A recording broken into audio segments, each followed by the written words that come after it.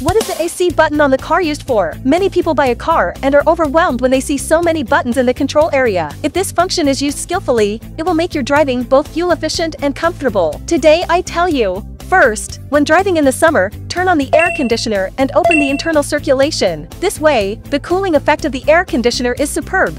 Second, when driving in winter, turn off the air conditioner and turn on the external circulation. This will prevent frost from forming on the glass and it's extremely fuel efficient. Third, when driving on a rainy day, turn on the air conditioner and external circulation. Turn on the front windshield defogging function. This way, the glass won't fog up easily. Fourth, when there is a traffic jam, turn on the air conditioner and internal circulation. In this way, the exhaust gas from outside the car cannot enter. Have you learned it? Follow me. Let's be friends.